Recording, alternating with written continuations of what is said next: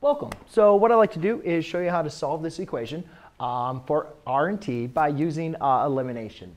And when using elimination, the main important thing we want to do is get our coefficients of one of our variables to start off with to be the exact same. And forget about the value if it's positive or negative, just get them to be exactly the same.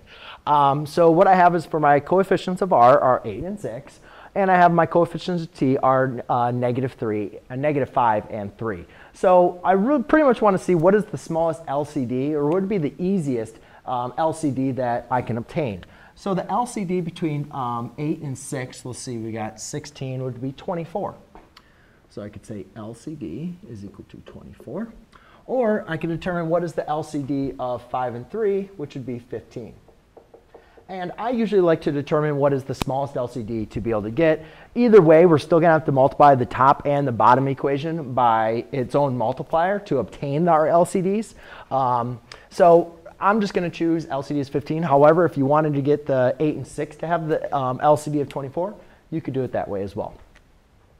So to get an LCD of 15, that means I need to multiply the top equation by 3 and the bottom equation by 5. So now I'll simply just multiply across by applying distributive property. So 3 times 8 is going to be 24r minus 15t um, equals 180. 5 times 6r is going to be 30r. 5 times 3t is going to be a positive 15t. And 5 times negative 18 or 5 times 18 is going to be um, 36, 72, 80, 90. Okay, so now as you notice, as I multiply to get my LCDs the same, you can see that now, since I have 15, one is negative, one's positive. So when you have that case, when it happens that way, just simply add the two equations up together. So 24r plus 30r is 54r. Negative 15 plus 15 is just going to be 0, um, 0, 15, which is just 0. So that equals 90. Now I need to solve for r, so I'll divide by 54.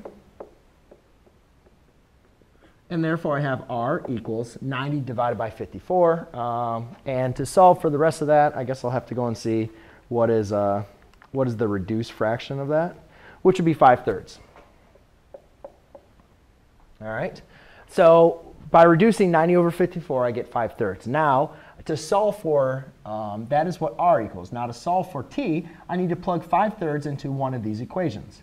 And preferably, I'm going to want to plug this into a variable where it simplifies. So I'll plug it into the second one.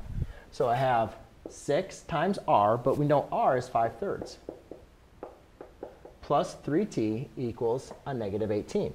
Well, 6 times 5 thirds, just multiply that across, that becomes 10 plus 3t equals negative 18.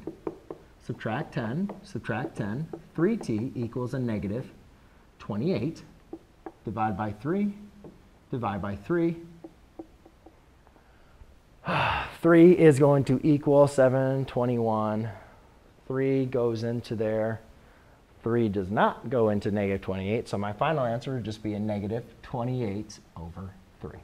So there you go, ladies and gentlemen. That is how you use elimination to solve for your missing variables, even when they're fractions. Thanks.